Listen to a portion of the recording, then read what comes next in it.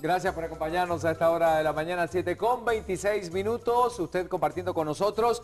Ya se despejó, por supuesto, pero como vemos está bastante congestionadito el tránsito. Muy tempranito está pasando esto en nuestra ciudad capital. Uy, hay frito también, así que abríguese. El sol está saliendo allí tímidamente a iluminar el camino de los guatemaltecos. Pero se esperan lluvias, se espera un poco de congestionamiento, así que cárguese de paciencia y agradezca las cosas que le están tocando vivir. Ahí están nuestras redes sociales también activas en todo momento si quiere estar en comunicación directa con nosotros.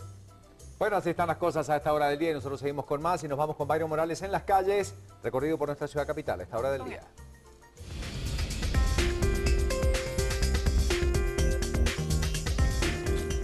Byron, adelante con la información, te escuchamos. ¿Dónde estás ubicado? Sigue esta mañana.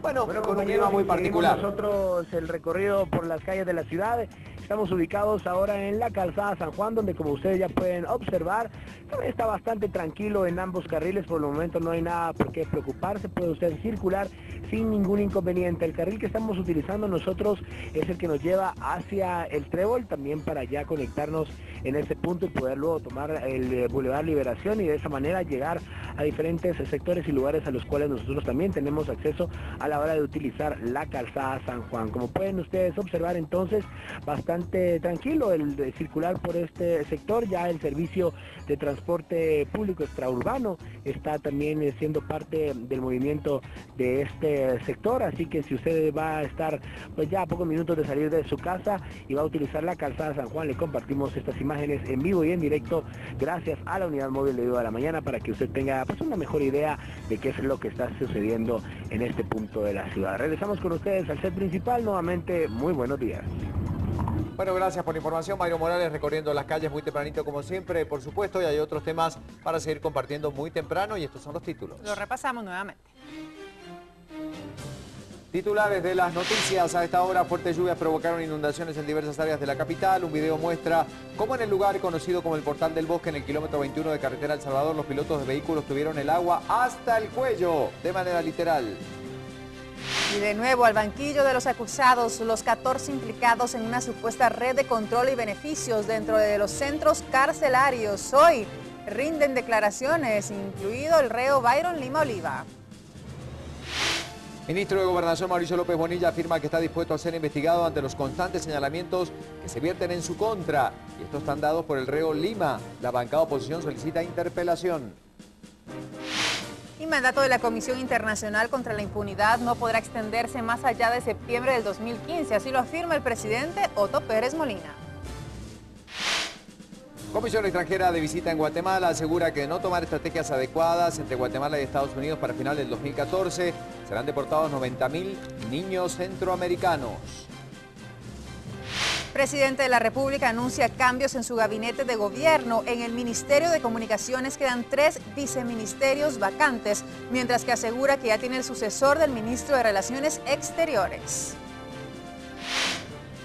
Mientras tanto, en el Día Internacional de la Alfabetización en Guatemala, 1.8 millones de personas no saben leer ni escribir. Procuraduría de los Derechos Humanos afirma que es importante que las autoridades amplíen la cobertura y mejoren la calidad educativa para reducir el índice de analfabetismo. ¿Y qué sucede en el mundo? Preocupación existente en Estados Unidos ante el aparecimiento de un virus respiratorio potencialmente peligroso. Hasta el momento, más de mil niños han sido internados en diferentes hospitales.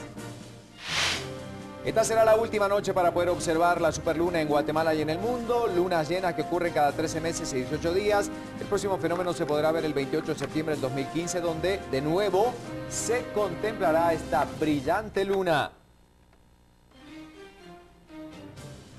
La economía siempre es importante y se la presentamos a continuación.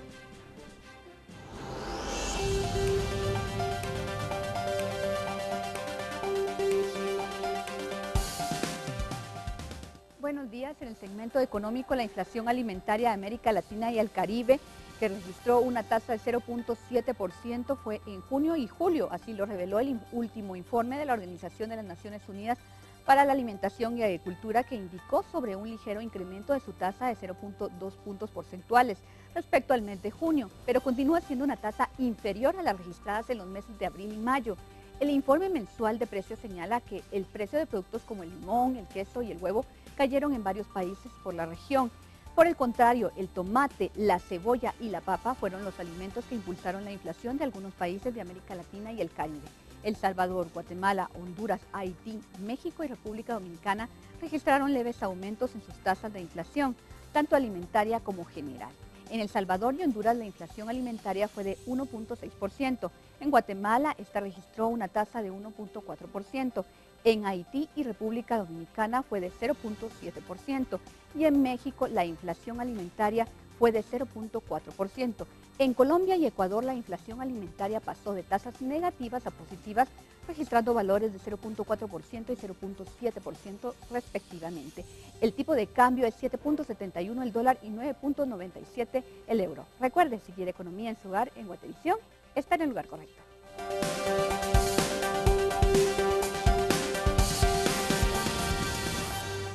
Bueno, damos vuelta de página, por supuesto, porque tenemos más información, ya es la caricatura. Aquí la tenemos, vamos a ver qué dice Fo de algunas cosas que están sucediendo en nuestro país.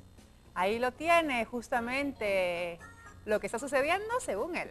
Bueno, ahí tenemos la información a esta hora con la caricatura que aparece en este día y nosotros tenemos más noticias, son más eh, hechos importantes que ocurren en otros lugares del mundo. Vamos con Crista. Una última noticia para cerrar este segmento de las noticias curiosas y ya le había adelantado al principio del programa de estas dos ancianitas que bueno, se casaron, se decidieron unir ya, finalmente después de pasar siete décadas juntas. Realmente el amor no tiene fecha de caducidad. Vivian Boyack y Alice Noni Dukes son dos ancianas de 91 años y 90 años de respectivamente y bueno, han decidido comenzar a escribir un nuevo capítulo de sus vidas. Después de 72 años de relación, Linda Hunter presenció los votos matrimoniales de esta pareja en la iglesia cristiana de Davenport, asegurando que esta es una celebración de algo que debería haber ocurrido hace mucho tiempo. Vivian es una maestra en la escuela de primaria y Alice una periodista de una revista muy importante. Ambas se conocieron en la universidad en el 47 y desde entonces han recorrido miles y miles de kilómetros en los Estados Unidos, visitando todas las provincias de Canadá y viajando por toda Inglaterra en dos ocasiones y todo ello sin separarse un solo instante. Pese a todos los años que tienen estas dos mujeres a sus espaldas, no se cansan de estar juntas y aseguran que se necesitan grandes dosis de amor y mucho mimo para mantener esta relación de 72 años juntas. Entonces este eh, hay un veterano, un jardinero que trabaja con ellas y que asegura haber conocido a esta pareja desde que tenía 18 años y que bueno, le preguntan y confiesa que después de pasar tanto tiempo con ellas se da cuenta que son muy especiales. Así que esto es lo que ocurre. Después de siete décadas decidieron casarse finalmente. Noticias curiosas, son las 7 de la mañana con 34 minutos y cerramos este segmento. Bueno, y ahora vamos a ver qué pasa con las temperaturas. El clima es noticia siempre. Por supuesto, seguimos recorriendo Guatemala.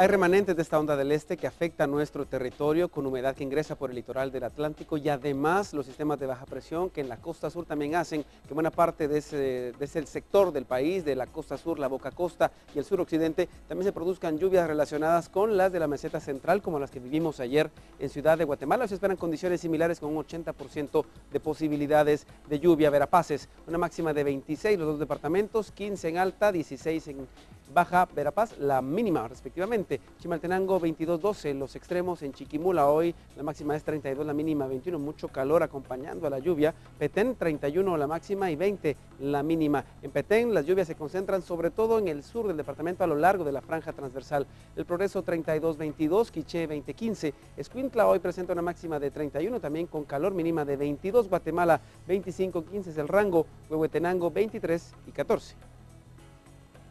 El resto de regiones del país, Izabal 30-24, ingresa humedad también por ahí, Jalapa, afectada también por el calor y la lluvia, 31-19, Jutiapa 32, 21, Quetzaltenango 18-12, Retaluleu una máxima de 33 y mínima de 24. Zacatepeques, aquí cerca de nosotros, una máxima de 24 y mínima de 16. San Marcos hoy presenta una máxima de 23, mínima de 15. Santa Rosa, la máxima para hoy es 29 y la mínima 19. Solo la, la máxima 20, mínima 16. Los extremos en Suchitepeques, 29, 23. Y el recorrido lo terminamos en dos regiones que están afectadas por la lluvia también, Totonicapán, 20, la máxima 12, la mínima Zacapa, hoy la máxima es 32 y la mínima 22. Son las 7.36, es todo en el clima. Continuamos con más. Azúcar de Guatemala. Investigación y desarrollo. Presentó. Bueno, tenemos información para continuar y es la noticia de prensa que te aparece esta mañana. Aquí tenemos otras notas importantes que ya las ponemos en pantalla. Mundo Económico. ISR capta 50% durante exoneración y cliente marca tendencia. Están inaugurando ya la feria alimentaria. En otras noticias también relevantes a esta hora del día, España enfrenta desafíos y es que la OCDE refiere que el enfoque debe ser en competitividad y empleo. País europeo registraba crecimiento del 0.6% en el segundo trimestre. Y la portada internacional dice lo siguiente, Obama presentará plan de estrategia, coalición contra EI y reúne a 40 países. Prensa Libre presentó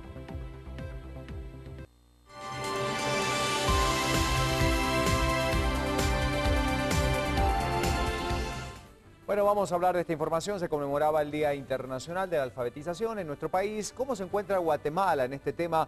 Uno de los datos que sobresalen es que al menos un 15% de los habitantes guatemaltecos no saben leer ni escribir. Repasemos las cifras en el siguiente reportaje.